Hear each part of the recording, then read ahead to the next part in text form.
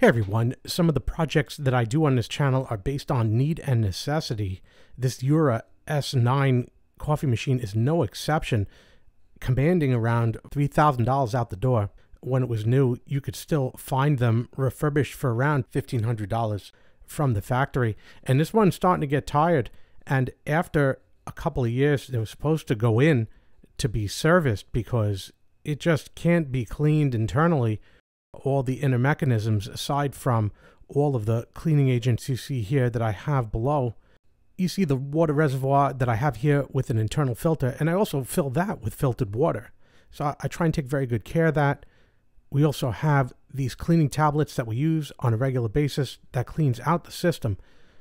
The mechanical parts inside that get in contact with the beans and grind the beans and press the beans down, I believe that that can't be adequately cleaned through these methods. And I believe over time there's an accumulation that sort of gums up the works and it becomes problematic. And the machine needs to be completely disassembled all around here in order to address that and get it working like new again. None of this is explicitly mentioned in the manual. I guess the assumption was after like four or five years, you would just go out and spend another couple thousand dollars on a coffee machine because you were the kind of person who would spend a couple thousand dollars on a coffee machine. So we're going to conduct a complete teardown of the unit, replace parts as necessary, clean everything up, reassemble the unit, test it, and make some coffee? Let's get started. This first video is going to deal with the opening of the machine for service. This is being done on this S9 as we see, but it also supports the multitude of S models as well as X models and XS models. So in looking at this video, you may have a different model, but this will also work for you. Just before it failed, coffee started coming out of both nozzles. I had opted to order the 32 piece repair kit or rebuild kit from Jura parts. This not only comes with everything needed for a basic rebuild, but also that oval key needed to get the back cover off. If I find after the rebuild something else is broken, I'm just going to have to make another order later. We're going to pull some of the easily detachable items first, such as this bottom tray. I have a storage area for all these. We'll clean and address these later. This also includes the water reservoir. We'll notice I've moved over to a work area where I'm going to be conducting all the work for this restoration project. I'll remove the pre-ground coffee hopper. I've never actually used this before, but this will come out now. This bean cover's tabs had long since broken off, so I'll just remove this and put it into storage. I still have beans in here. Before the end of this video, I'll figure out its disposition. So when I work on bikes and motorcycles, I have big bolts. It's easy to figure out their sizes and pitch with a caliper. I don't think it's going to be that easy on this machine, and there's a lot of them. So I'm going to find a strategy to keep everything in order as I disassemble this. I'm going to tape and number each one of the screws as I remove it in this video and call it out just like this. One. And that way I'm going to know not only which one went where, but in what order I had removed it. And then I could conveniently store all the screws in a sandwich bag starting here at the front of the machine, all the way at the bottom on the right. This is going to be number one. And we're going to use a T15 fitting on the front of a driver. We're going to pull that one out. I'll then wrap the screw in masking tape. And for all I know, all these screws could turn out to be the same size. But I'll know which screw went where and in what order. Take a Sharpie. Annotate it with the number one put it on a pile, and move on to the next screw. This one here in the top corner is going to be number two. Again, T15.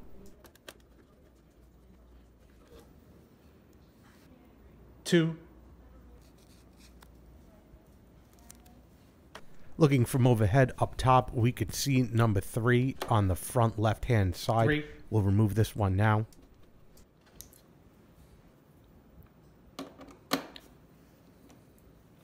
Four. Number five, five will be here on the back left. And then number six here six. on the back right. Now with the small flathead, I'll get a grip on what they call a heating tray, I believe. I just call it a storage tray. And I'll lift this up and remove it. And this will now go into storage with the rest of the removed parts. Now we have three screws revealed, starting seven. with the front is seven removing that now. The center screw will be 8.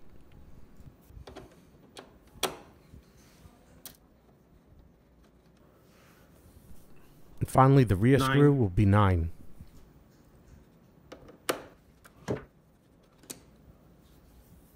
We're now looking at the right side at the bottom. This is the front of the unit. And we see two screws here at the handle we're going to remove the front screw. 10. That's going to be number 10.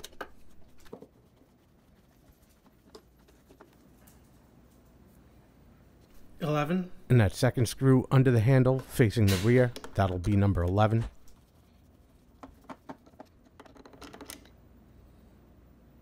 We decided to jettison these beans. We're going to remove with the vacuum cleaner. This cover here is going to go into storage. It's a waste of beans, but I really don't have a more practical method of getting them out of the machine, and they have been sitting in here for a couple weeks already. At this point, I'll need to open up the kit to get the special tool out from Jura parts. And it's a kit within a kit. So there's the tool right there. So I'm going to open it up carefully. I'm not ready to use any of these parts, and I don't want them removed. I'm just after that tool. So I'll close everything up. And there it is. Just an oval bit. And this is the first time I'm swapping the T15 since the beginning of the project. Removing the first of the two rear screws that have the special head, requiring a special tool to remove it. This is 12 and 13. I'll then tilt the machine forward, lift the back cover off from the bottom. It'll slide down, and then I'll pull it up off of the plug, removing it. This will go with the collection of stored parts. I've annotated the bean sensor cable with the number 14, our next number, and now I'm going to disconnect that cable from the machine. Now very gently pry the top cover off till it's released, and then I will guide the bean counter cable through this hole, and once it's through I will lift the entire top cover off. This will be stored with all of the other parts. It'll be later cleaned. I then remove this metal piece right here, just lift it right off of the chassis. I put tape around it, labeled it 15, and I'm just going to store this with the screws. Now, very gently bring the front of the cabinet a little bit forward. We can see two tabs up here, so I'm going to bring this forward from the bottom and lift up, and that unseats this side panel. We can see these two tabs a little closer inspection, how they seat in here, and this front part. This now gives me an opportunity to vacuum up the rest of the beans that are stuck in the grinder that I could not reach before. The front portion is designed to swing open. We need only disconnect a few items to accomplish this. The thin hose leads up to the front. It is secured with a clip. We'll remove it with a pair needle nose pliers. Pulling down to release the clip. Comes right out. And we will label this as number 16. Put it with the screws. With the clip removed, that hose can be pulled right out of the socket, put off to the side. Now we see that it is this top hose that obstructs. There's a T-fitting here in the middle. This T-fitting can be lifted off like so. The forward hose can be gently pulled out of the T-fitting. And I've labeled this disconnection as 17. Put right here on the T-fitting. Snap that back into place. The cover moves out a little bit further, leaving us with one more hose right over here. So I'll give it a couple of twists back and forth to loosen it, and then I'll just disconnect it right off of this valve. Comes off with no problem. I've annotated this connection as 18. At this point, the front door can be completely opened for service. And that ends this portion of the project, which is opening up the coffee machine for service. We got all the panels off as you see. And now from the top, we're able to access the grinder portion of the machine. And that's going to be in a future chapter of this restoration. Also, we have access here to the bolt carrier group that we're going to take out and completely restore as a separate chapter. And then the front area that also needs some work and cleaning over here as well as this part that I believe is suspect that's causing coffee to come out all areas at the same time. But that's the end of this video. I hope you found it enjoyable and entertaining and informative. Do me a favor, hit that like button down below. Helps me out a lot when you do. And hit that subscribe button for more videos like this when they come out. Thanks for watching. Thanks for watching. Would you like to reply?